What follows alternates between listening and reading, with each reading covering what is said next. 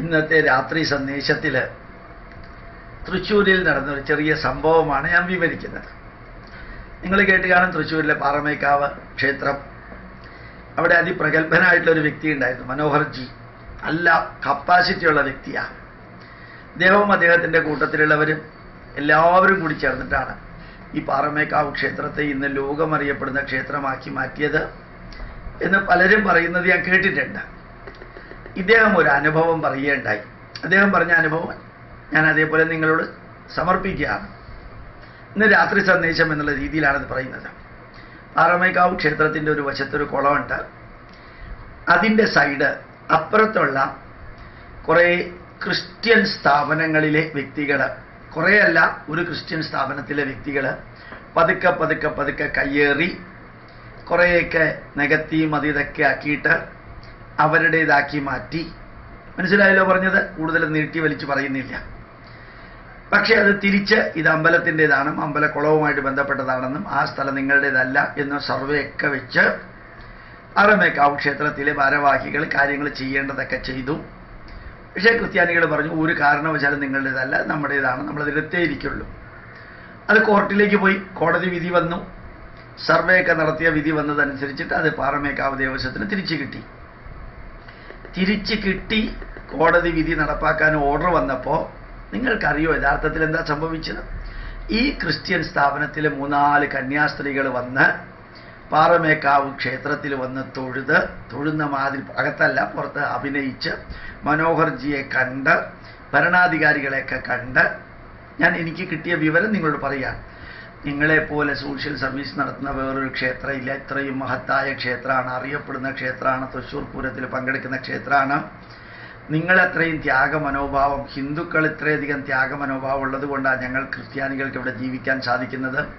ഞങ്ങൾ ചെയ്യുന്നതിൽ നിങ്ങളെ പോലെയുള്ളവർ നൽകുന്ന വലിയ സപ്പോർട്ടാണ് ഞങ്ങൾക്ക് അനുഗ്രഹമായിട്ടത് ഒരു സുപ്രഭാതത്തിൽ കന്യാസ്ത്രീകൾ അച്ഛന്മാരുടെ നിർദ്ദേശം ബിഷപ്പിന്റെ നിർദ്ദേശം അനുസരിച്ച് ഹിന്ദുക്കളെ അങ്ങോട്ട് ആരാധിക്കാനും പുകഴ്ത്താനും അങ്ങ് ആകാശത്തോളം ഉയർത്താനും സാധിച്ചു. ഏത് കഴുതയെയും പുലിയും സിംഹവുമാണെന്ന് പറയാനും ഏത് പുലിയെയും സിംഹത്തെയും കഴുതയാണെന്ന് എപ്പോൾ വേണമെങ്കിലും അച്ഛന്മാരുടെ നിർദ്ദേശം അനുസരിച്ച് ചിരിച്ചുകൊണ്ട് കന്യാസ്ത്രീകൾ വന്ന് ഹിന്ദുക്കളോട് പറഞ്ഞാൽ ഹിന്ദുക്കൾ അങ്ങോട്ട് വീഴുമെന്ന് ധരിച്ച് അവരുടെ ചവിട്ട് നാടകത്തിന്റെ വരികൾ മുഴുവനും കേട്ടാൽ നമ്മളൊക്കെ അങ്ങോട്ട് ഉറക്കെ കൂവി ചിരിക്കും ഏത് വഴിയെ കൂടെ പോകുന്നവനും തന്ത എന്നും അച്ഛനെന്നും വിളിക്കാൻ നാണോ ഇല്ലാത്ത ഒരു ഒരു ബിഹേവിയർ കോടതി വിധി എതിരായപ്പോ അത് അത്രയും ഷാർപ്പായിട്ടുള്ളൊരു വിധി വന്ന് തെളിവ് സഹിതം അത് അമ്പലത്തിന്റെതായപ്പോ ചുവട് മാറ്റി ചവിട്ടിയിട്ട് അവരിവിടെ വന്ന് അങ്ങോട്ട് പുകഴ്ത്താനും ബാക്കി എന്ത് വേണമെങ്കിലും. എന്തോ അവരാരും പറഞ്ഞില്ല നിങ്ങളുടെ ഇവിടെ ഉള്ളവരാണ് ഞങ്ങളുടെ അച്ഛൻ അച്ഛൻ ഞങ്ങളെ പണ്ട് ഞങ്ങൾ നായന്മാരായിരുന്നു എംബ്രാന്തിരിമാരായിരുന്നു പൂജാരിമാരായിരുന്നു എന്നൊന്നും പറഞ്ഞില്ല. കാരണം അതൊന്നും പറയിപ്പിക്കാനായിട്ട് അവർ നിന്നില്ല. ഇല്ലെങ്കിൽ ഞങ്ങളുടെ തന്തമാരൊക്കെ നായന്മാരാണ് എന്ന് പറഞ്ഞു വരെയും ആ സ്ഥലം തിരിച്ചു പിടിക്കാനായിട്ട് അവർ ശ്രമിക്കുമായിരുന്നു. ആ ലെവൽ വരെ താഴാനൊന്നും പലർക്കും വിഷമമൊന്നുമില്ല. അതും തിരുവസ്ത്രം അണിഞ്ഞിരിക്കുന്നവരായി ഈ പച്ച ചവിട്ട് നാടകം നയിച്ചത്. ഏതായാലും അവിടെ കൂടിയിരുന്ന ഭരണ ഭാരവാഹികൾ പറഞ്ഞു കോടതി വിധിയൊക്കെ വന്നിട്ട് ഞങ്ങളുടെ പ്രോപ്പർട്ടി ഞങ്ങളുടെ തന്നെയാണ്. നാളെ രാവിലെ മുതൽക്ക് മതിൽ കെട്ടിയിട്ട് കൃത്യമായിട്ട് രണ്ടും വേർതിരിക്കും. അതിനകത്തേക്ക് പ്രത്യേകിച്ച് ചർച്ചയ്ക്കൊന്നും വരണ്ട സേവനത്തിനൊന്നും വരണ്ട. അതിനിടയ്ക്ക് അവർ പറയുകയും ചെയ്തു നിങ്ങൾക്ക് വേണ്ടി ഞങ്ങൾ പ്രത്യേകം പ്രാർത്ഥിക്കാം. ശരിക്ക് പാറമേക്കാവിൽ അമ്മ എന്ന് പറഞ്ഞാൽ ഞങ്ങളുടെയും കൂടി ദേവതയാണ് ഞങ്ങളുടെ കുലദേവതയാണ്. എന്തൊക്കെയാ പറഞ്ഞത് എന്നുള്ളത്? ഒരു പുസ്തകത്തിൽ എഴുതാനുണ്ട്.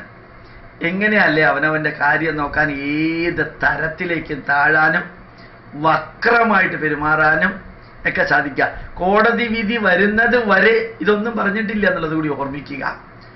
ശരിക്ക് ഈ ചട്ടമ്പി സ്വാമികൾ നമ്മുടെ ചെറുകോൽപ്പുഴ സമ്മേളനം നടത്താൻ തന്നെ കാരണം. പല പല നായർ തറവാട്ടിലുള്ളവരെയും ക്രിസ്ത്യാനികൾ പറ്റിച്ച് ചുളുവിലയിൽ അവരുടെ പ്രോപ്പർട്ടി വാങ്ങിച്ച് ക്രിസ്ത്യൻ കുടുംബത്തെ ചിരിച്ചുകൊണ്ട് തകർത്ത. കോട്ടയത്തെയും ചങ്ങനാശ്ശേരിയിലെയും തിരുവല്ലയിലെയും ചെങ്ങന്നൂരിലെയും പത്തനംതിട്ടയിലെയും മാവേലിക്കരയിലെയും അവിടെ നിന്ന് കൊട്ടാരക്കര വരെ നായർ തറവാട്ടിലുള്ളവരുടെ പ്രോപ്പർട്ടി കൈകാര്യം ചെയ്ത് അത് കൈക്കലാക്കിയ അടവ് തട്ടിപ്പ് വെട്ടിപ്പ് നയത്തിന്റെ ഭാഗം. ഏതോ പാറമേക്കാവിൽ വർക്ക് ചെയ്തില്ല. അത് ആ വ്യക്തി മാത്രം നേരെ സ്വകാര്യമായിട്ട് എന്നോട് പറഞ്ഞതുകൊണ്ട് നിങ്ങളിത് അറിയണം. ഇതൊക്കെ ഇവിടെ ഓരോ ഹിന്ദുവും ഇത് അറിയണം. എങ്ങനെയാണ് ക്രിസ്ത്യാനികൾ ക്രിസ്ത്യാനികളുടെ കാര്യം നോക്കുന്നത് എന്ന് യേശുവിനെയും ബൈബിളും കച്ചവടം നടത്തുന്ന പോലെ മറ്റുള്ളവനെ കുത്തുവാളെടുപ്പിച്ച് അവന്റെ പ്രോപ്പർട്ടി സ്വന്തമാക്കാൻ ഒരു വിഷമവുമില്ലാത്ത പാർട്ടിക്കാരാണ് ഇവർ. ഇലക്ഷന് ചന്ദനവും തൊട്ടുകൊണ്ട് വീണ ജോർജ് അമ്പലങ്ങൾ തോറും പോറിയെന്ന് അവരാണ് ആ ശ്രുതി ദേശായിയുടെ കൂട്ടത്തിലോ സ്മൃതി ദേശായിയുടെ കൂട്ടത്തിലോ നിന്ന് ഫോട്ടോ എടുത്ത് ശബരിമലയിലേക്ക് സ്ത്രീകളെ കയറ്റിയിരിക്കുമെന്ന് പറഞ്ഞ ആ സ്ത്രീ ഇപ്പൊ ചന്ദനം തൊട്ട് ഭസ്മം തൊട്ട് അമ്പലങ്ങൾ തോറും കയറി ഇറങ്ങി വോട്ട് പിടിക്കുന്ന ഒരവസ്ഥ തൊലിക്കട്ടിയും അകത്ത് നാണോ ഇല്ല എന്നുള്ളൊരു അവസ്ഥയും കൂടി വന്നാൽ ഞാൻ എം പി ആയിട്ട് തിരഞ്ഞെടുക്കപ്പെട്ടാൽ തീർച്ചയായിട്ടും ഞാൻ ശബരിമലയിലേക്ക് പോകുന്ന പറഞ്ഞിരിക്കുന്നത്. അപ്പോ ഇത് ഇത് ക്രിസ്ത്യാനികളുടെ അച്ഛന്മാരുടെ കന്യാസ്ത്രീകളെയും മറ്റ് സ്ത്രീകളെയും കുമ്പസാരിക്കാൻ അച്ഛന്മാർക്ക് പകരം കന്യാസ്ത്രീകൾ വേണമെന്ന് പറയാൻ ധൈര്യമില്ലാത്ത വീണ ജോർജോ വീഴാത്ത ജോർജോ ഏത് ജോർജാണെങ്കിലും ഒരു കാര്യം ഉറപ്പാ ഇതൊക്കെ ഹിന്ദുക്കൾ തിരിച്ചറിയുന്നൊരു ദിവസം ഉണ്ടാവണം. മറ്റേ കോൺഗ്രസ് സ്ഥാനാർത്ഥിയുടെ ഭാര്യ അവിടെ പ്രചരിപ്പിക്കുന്നത് മോഡി താഴെ ഇറക്കിയില്ലെങ്കിൽ നമുക്ക് പണ്ടത്തെ പോലെ മതപരിവർത്തനം നടത്താൻ സാധിക്കില്ല. നോർത്ത് ഈസ്റ്റിലെ മതപരിവർത്തനം പൂർണമായിട്ടും ഇപ്പൊ നിർത്തിയിരിക്കുകയാണ്. അതുകൊണ്ട് മോഡിയെ താഴെ ഇറക്കേണ്ടത് ആവശ്യമാണ്. ഏതൊക്കെ തരത്തിലുള്ള ചവിട്ടുനാടകങ്ങളാണ് മതത്തിന്റെ പേരിൽ നടത്തുന്നത്? പക്ഷെ ഇവരൊന്നും വർഗീയവാദികളല്ല. ഇവരൊക്കെ എന്താ പറയുക സമത്വ സുന്ദരമായിട്ടുള്ള സെക്കുലറിസ്റ്റുകളാണെന്ന് കൂടി അറിയാൻ നമുക്ക് ഓരോരുത്തർക്ക് സാധിക്കട്ടെ. ഇത് രാത്രി സന്ദേശമായിട്ട് നിങ്ങളിലേക്ക് സമർപ്പിക്കുന്നു. പ്രണാമം.